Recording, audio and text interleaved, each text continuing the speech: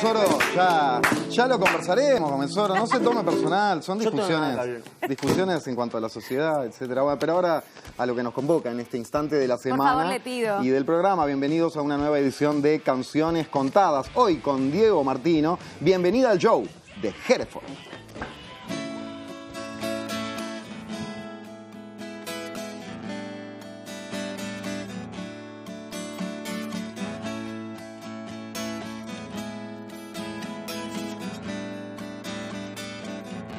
Bienvenida al show, al show de ver cómo me sangran las heridas y no las ves. Bienvenida al show de entrar en mi piel ver que todo se estremece y es por tu piel. Bienvenida.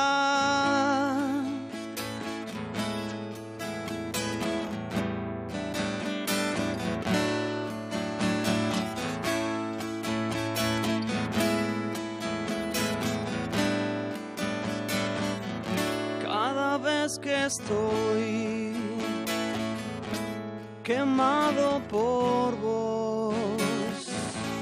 Veo tu espalda que se aleja y es que sos así. Bienvenida a estar delante de mí y ver qué fácil te escabulles y es por no ver. Bienvenida. Ya, ya, ya, ya, ya.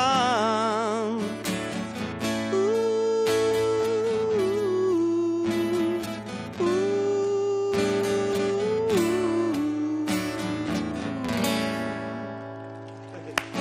Girola.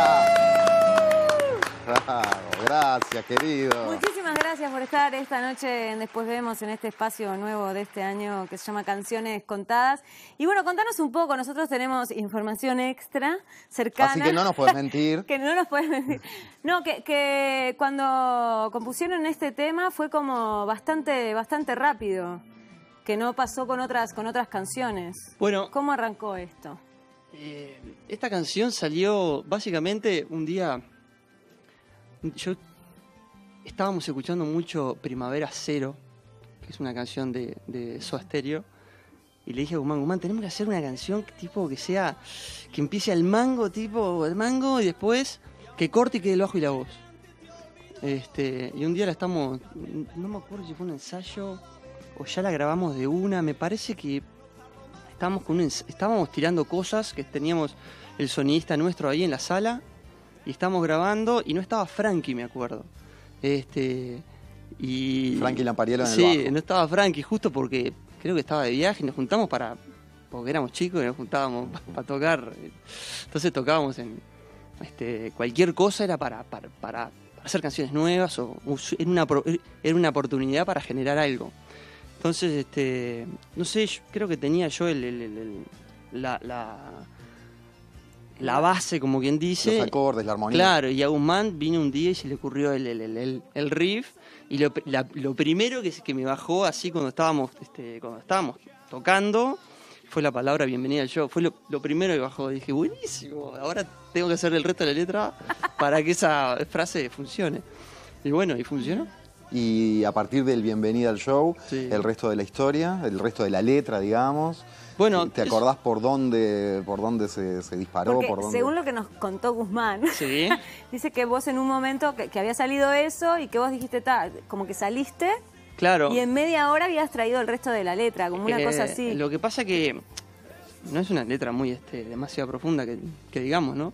Este, entonces yo está, hay que grabarlo ahora, pará, dije, pará que voy a terminar la letra. Y entonces está, este, empecé a tirar cosas ahí, quedó así, quedó una canción súper espontánea y creo que eso a veces es- son, son las cosas que, que contagian, ¿viste?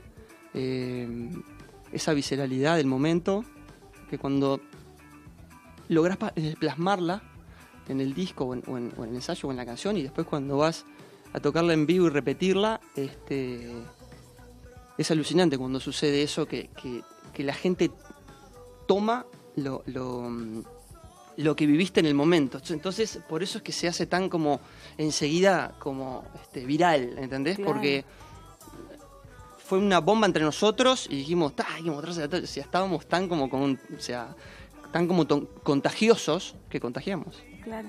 Y lo increíble aparte que no está en ningún álbum de estudio. No, De ustedes, está increíblemente hay una versión de estudio que anda por ahí, este, pero no está en ningún, en- en ningún álbum, ¿no? Este, increíblemente está en el, en el documentado que fue un disco en vivo. ¿Y alguna vez te pasó que te sangraran las heridas y alguien no las viera? Eh. A todos. A ¿A todos. no? Digamos. A veces somos expertos en, en- en esconderlas también las heridas. ¿eh? ¿Vos, vos- vos Cosas. qué, vos qué decís con respecto a vos mismo? ¿Sos más experto en esconderla o, o en que no te las vean aunque las quieras mostrar? No, con el, con el correr de los años este, me hice, me hice un poco más abierto a que me los vean, perdón, abierto a que me las vean las heridas y menos y, y más este y es menos fácil que me las hagan también, ¿no? Es como Ajá. todo, es parte del crecimiento. Mirá, Pero bien, o sea, parte de crecer. Chirola, ¿y te acordás la primera vez que la tocaron en vivo? ¿Qué pasó? ¿Dónde fue? Vos sabés que no me acuerdo dónde lo tocamos. No sé si no fue en el viejo Jack, ya para la grabación. Sí, porque. Sí, creo que sí. Fue porque, es más, en la grabación dice. Vamos a hacer un tema nuevo que se llama Bienvenida al Show. Este, y hoy, si la escuchás, sigue diciendo eso al principio. Me hace conocer hacer- cuál la costumbre es argentina. Claro, exactamente. Que, que la grabación que, que quedó es la de vamos a hacer un tema nuevo, Vamos a costumbres hacer un tema argentinas. nuevo que se llama eh, Bienvenida al Show. Y ahí salió, ¿no? Este, estuvo bueno. Porque aparte, también pasa eso. eh, grabamos una canción nueva que nosotros teníamos unas expectativas increíbles porque nos partía la, no sé, nos partía la cara. ¿Cuál? Turbu- ¿Turbulencia? No, no, no. Bienvenida al Show. Ah. En, ese, en ese disco grabamos dos. Bienvenida al Show y Turbulencia. Y como canciones nuevas, todas las canciones nuevas, la primera vez que las vas a tocar en vivo es como que te pones a prueba, ¿no? Claro. Este, sí, gustará, no gustará, pero estamos tan convencidos de que esa canción iba a tener una repercusión porque lo sentíamos en la, en- en la piel. Y, y aparte nosotros estábamos como, viste, cuando sos chico, eh, tenés esa euforia de, de- del contagio que, que terminás como contagiando todo lo que haces y te llevas el, mundo por delante. Eh, el mundo, el mundo por delante, bien, ¿no? O a nivel energético, no, no, no, a nivel este a nivel de cuando uno Sí, se- en el- eh, como Sí, sí, sí. negativo. No a nivel del ego, sino a nivel de, la confianza. Exactamente, a nivel de, De lo que tenés de la onda, ¿viste? Vamos, vamos, estamos haciendo cosas, ¿viste? Estamos haciendo cosas de la nada. Eh, vayamos para adelante, ¿qué puede salir mal? Eh, todo cosas que, que- que cuando sos chico está genial, porque incre- increíblemente con el paso del tiempo, algunos, el, el miedo que se tendría que ir yendo empieza apareciendo por algunas cosas que te empiezan a salir mal y cosas, entonces quedas condicionado por algunas cosas cosas que con el tiempo también se empiezan a trabajar y bueno, uno cuando llega a cierta edad y tiene ese, todo baga- ese bagaje entero, este, sabe que cuando uno hace las cosas bien no son tan tan buenas como uno cree que son y cuando uno hace las cosas mal no es tan malo como uno cree que es. ¿Sabes qué algo curioso, interesante que nos decía Guzmán hoy también, Guzmán Mendaro, hablando de esta composición del tema de Hereford. Que eh, es una canción rara en su estructura porque el estribillo vendría a ser el riff. Es el dungu tugu tugu. Que la la, la, la, la, la, la, En la, los la. shows la Exactamente. No tiene estribillo y no y, y de repente hoy si, si ni siquiera hubiera si yo tengo una canción así capaz que ni la presento porque digo, no, no tiene estribillo ¿entendés? esto está mal o sea le faltan partes viste entonces pero como esa frescura del momento de las cosas del- del- del- de la presencia de estar presente el, estado de presencia real no Eh, presencia escénica, sino el estado de presencia, cuando uno está en el lugar y, y- y nada más existe eh, que ese momento ahí tocando la canción y decís, ¿no tiene estribillo? Fuck off. El estribillo. De la mierda el estribillo. ¿Qué le importa el estribillo? Está increíble. Lo que está. ¿Cuánto dura? ¿Dos minutos? Mejor. hacer un solo al final. Chau. ¿Entendés? Claro, porque es verdad, termina con, con un solo. Claro, y pasa lo que ¿Nunca pasa. se cansaron de tocarla? Y no, No. no, era como. Nunca. Es difícil. ca- No.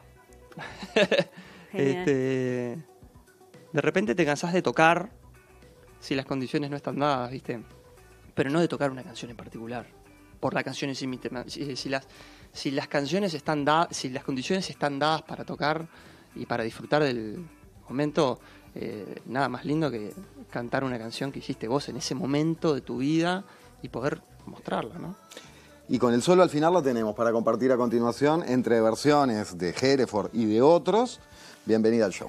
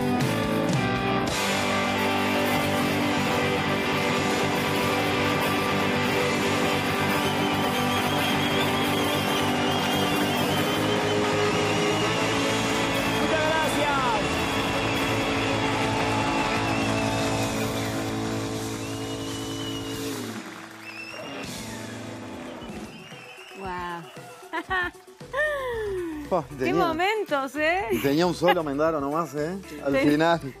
Se parió. ¿Nos vemos? Volvimos. Sí, ya estamos acá. Estamos de ya, ya vuelta. estamos de vuelta. Ya volvimos. Yo te quedo mirando como si fuera... Es que es lindo, loco, ¿viste? Qué bueno. Me di cuenta de algo, estoy igual. Estás igual, es verdad, Estoy estás igual. igualito. Este, no, pero qué buenos momentos. Hay, hay momentos que realmente me dieron un poco de vergüenza. ¿Y por qué te dieron Y un poco de vergüenza? estás, cosas de la viene vida. Pilsen Rock, ¿por qué? No, eh, no. Agitar a la gente. Eso sí, está, está bien. El otro me dio más vergüenza. Lo de Lito Nevia. Fua, eso fue increíble. Perdón, quemé el final. ¿Podés contarlo? O... No vale la pena. si no, pasa a ser un stand-up, ¿viste? Bueno, como era Lito Vitale y este, yo decía Lito Nevia, se pueden imaginar algo de lo que sucedió cuando el Chirola lo fue a presentar. Es una confusión. En vivo nos pasa todo el tiempo. No, no, no, no, ¿sabes lo mal? Aparte, Como que no te aparte sino- entendí, ¿entendés? O sea, vamos a, le voy a contar a la gente porque este, es este. Es este. Merece contar. Sí, Merece por eso, contarlo. por eso te tiramos el centro, Diego, me parece que sí. Estábamos tocando y bueno, en, en- presentaba Lito, eh, Lito perdón, acá no. Sí. Este, presentaba todo Lito Vitale. Entonces, este, en el último, en el último tema Lito Vitale, o sea, tocamos cuatro canciones. En la última canción, que era Bienvenida al Show, se sumaba Lito Vitale en las teclas. Entonces yo, cuando voy a agradecer, agradezco, eh, quiero pedir un fuerte aplauso y agradecer enormemente, va a compartir señal con nosotros, el señor Lito Nevia en casa. Entonces empezaron a hacer así atrás de las cámaras. Empezaron a hacer así atrás de las cámaras. Me decían, no, no, no. No. No, era una broma, dije yo. no. Era una broma. Qué grande, qué Quedó en el- bien igual. No, no, no, no sabe bien. No había manera de sacar al córner eso. No, no, tiene que estar ahí también en el. en el- No, no, no lo vimos ¿No? nosotros. No, no, Lo te deben haber preocupes. editado. Lo editaron, capaz que te, no te- lo te vimos. cuidaron. No, si era en vivo. No, pero al colgarlo, Ah, digo, a la al hora de colgarlo. Ah, por lo menos después en las reproducciones que la gente no lo viera. Hubiera, estado bien. Chi- Chirola, hace unos días sacaste el, el video del, Sí. del tema Pasos de Sí. Gigante, que es también el nombre del que va a ser tu futuro disco En digital. agosto eh, sale mi nuevo disco. Que bueno, ya estamos eh, ensayando el show nuevo. Que va a ser presentado en, en el Auditorio Nacional el bueno. 5 y el 6 de octubre. Ah, fechas. Bien. O 4 y 5, no me acuerdo bien. Pero bueno, ya estamos ensayando mucho. Eh, estoy bastante obsesivo con, el, con lo que quiero dar. Quiero dar un show que esté increíble. eh, porque tengo las herramientas para hacerlo. Y sería una falta de respeto a la, a la música que hago y, a lo- y al, y al tiempo que le dedico a esto, no hacerlo de la mejor manera. Eh, así que estoy preparando algo, estamos preparando porque mis compañeros me dan una mano gigantesca eh, para hacer un show que esté bien. Y tope, este disco lo grabaste tope, con tope. esta banda, Sí. con la que lo vas a presentar. Claro, lo que me pasó a mí en el primer disco fue que no, que no, no tenía banda. Claro. ¿no? Eh, Entonces fuimos, este, fue distinto, ¿no? Invitamos, vino Rodrigo, tocó Guzmán, tocó mi sobrino, tocó mi hermano. Este, cuando digo Rodrigo, es Ro- es Ro- es Rodrigo Trogo. Sí, el batero de Hereford. Exactamente. Las guitarras las grabé casi todas yo, excepto algún invitado, como Bruno Andreu. Después los bajos también. No, los bajos grabé algunos yo, algunos eh, Andrés Coniberti, que es el bajista, amigo mío que toca hoy, y Fafa Barbosa también grabó. Y bueno, y con eso teníamos que. Con eso teníamos que, después de tener el disco, era- había que construir el edificio que era tocar en vivo, ¿no? Eh, Claro. Porque son como dos edificios, dos casas distintas. Claro. Este, entonces, de esto que tengo acá, que es el disco físico y las canciones ya producidas y eso, ¿cómo hacemos para llevarlas al vivo? Bueno, muchachos, a trabajar. Eh, ahí trabajamos bastante en eso. eh, y la banda quedó consolidada, ¿no? Eh, la gira del año pasado nos ayudó mucho a entender un montón de... Porque esto es, hay, hay una cosa que el tiempo te da con, con una banda que es cuando tocas con los mismos, eh, los mismos músicos, es una cosa que se llama dinámica del show. Este, una cosa es subirse a, a tirar las canciones y otra cosa es pensar en el show como algo, eh, in- como algo integral, ¿no? Desde, Claro. desde- desde que arrancas ca- hasta que termina es una sola cosa. No son 20 canciones juntas, sino son momentos, son espacios, son eh, eh, qué te quiero decir en cada momento. eh, y dónde quiero ponerte en cada, en cada momento. Entonces, perdón. Entonces en ese, en esa dinámica, en esa, en esos montón de, de, de, de show que, tuve, que tuvimos el año pasado, por el interior, por todos los teatros del, del interior, eh, 20 fechas metieron, ¿no? Sí, sí, 20, 20 o 19, una 20. cosa así. Este, este año voy también por, por la gira y por la presentación del, del disco. Y mm, entonces esa cantidad de shows te da saber qué sucede en cada momento del show y qué hacer, qué no hacer. Entonces este, es un ejercicio muy bueno el estar atento a, a todo el show, ¿no? No, no, a- no solo una canción y que suene bien la canción, sino que haya una, haya una, haya una coherencia en lo coherencia en lo, en lo que está sucediendo eh, en todo el show. Yo, mi, mi trabajo es, in- es traerte un tubo, o sea, traerte a un, a un, a un túnel, que vos recorras ese túnel como si fuera una película. Este, Claro. Hablar poco, pero sí eh, que haya un que haya otro tipo de diálogo. ¿Me explico? Este, no, yo ya me, me, me, me- me da cosa el agite, no, no, estoy para... es- A los climas. Exactamente, algo más climático. Sí, climas. climas. más arriba, climas más abajo, climas en el medio, pero climas, ¿viste? Este, y eso creo que se logra con ¿Y, es- poniendo cabeza y amor. y esa es la intención también del segundo disco? Bueno, este segundo, lo- com- como te decía, la- eh, al tener la banda armada, este, bueno, empezás a convivir con, con tus músicos y entonces yo tenía un montón de canciones nuevas, ya pensando en, en- la banda, cómo, cómo se iba a comportar el disco tocado por nosotros, ¿no? Eh, de ahí, ¿yo qué hago? Yo hago las canciones, yo soy, soy muy... Trabajo mucho en la maqueta, ¿viste?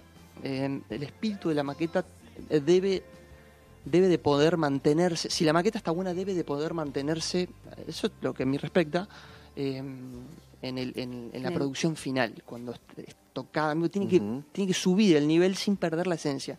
Entonces yo eh, tengo la suerte de, de tener algunas herramientas en la maqueta y de- en, en la compu y, y de, y de manejarme de una manera que, que, que sé como para dónde quiero ir, ¿viste? Entonces eso este, hace que yo pueda terminar una canción y dársela a Andrés, dársela a Juan y, y entre los tres cocinamos el disco, ¿viste? Este, Juan es el baterista, que es mi sobrino, y Andrés, que es Andrés Coniberti, es el bajista, que también es hincha mío a, muerte. Entonces este, me da mucha confianza eso. Eh, yo nunca tuve, viste que a veces cuando uno hace una canción no sabe si está buena, si está más o menos. Yo nunca tuve como ese nervio. Las hago, si me gustan a mí, deben estar bien, o por lo menos deben tener un. Yo, confío en mi gusto, deben tener un, un límite eh, de, de- de calidad aceptable, como, ¿entendés? Este, entonces, la muestro, muestro dos, tres, hago, hago de grupos de A3 y se las paso, grupo A3 y se las paso. Y bueno, y ahí las vamos ensayando, vamos viendo cómo se comporta eh, humanizadas. Y después va- fuimos, las grabamos y acá tenemos un disco nuevo. En Y en agosto lo 2014, veremos. en 2014 fue el disco Martino, empezando su carrera solista, y ahora se viene Pasos de Gigante. Exactamente. Ese disco que aparecerá entonces, eh, en cuando Agosto. dijimos en agosto, En y se presentará a principios de octubre en el Sodre, en el auditorio del Sodre. Y si te parece, Diego, con Pasos de Gigante, que como videoclip salió hace poquitos días, con un fragmento de eso nos vamos a la pausa, agradeciéndote primero por haber estado acá, por habernos contado la historia de Bienvenida al Show No, en gracias a Canciones por Contadas. la invitación. Es muy lindo recordar, eh, a veces cuando uno recuerda, o sea, el, el- el ejercicio de mirar para atrás eh, remueve cosas casi siempre lindas. Eh, porque gracias a Dios tenemos como un mecanismo de defensa que las cosas que no, están, que no hayan estado tan buenas las hacemos a un lado. Entonces nos quedamos con los recuerdos lindos y para mí Hereford es un recuerdo no lindo, de los mejores que tengo. Divino. Mirando hacia el presente y hacia adelante, pasos de gigante para vos. Arriba. Diego Mucha Martínez. suerte con todo. Muchas gracias. Gracias a ustedes.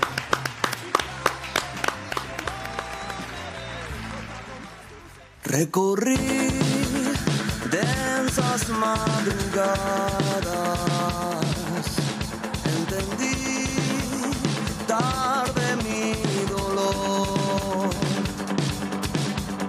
sí, cielos que quedaban.